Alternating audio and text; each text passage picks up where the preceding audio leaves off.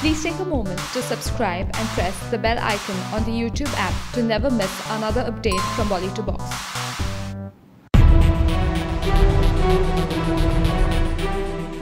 Arjun Kapoor and Salman Khan shared a very cordial relationship with each other. But then, Salman seemed to be quite miffed with Arjun owing to the rumors of his affair with Malaika Arora. After bitterness crept in, Arjun preferred to stay away from Salman. But then the Black Buck case changed it all.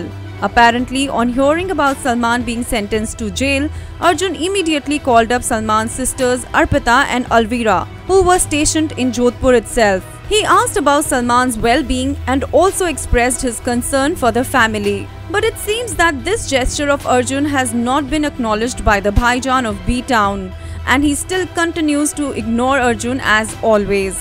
So what do you have to say about this? Do let us know by commenting in the section below.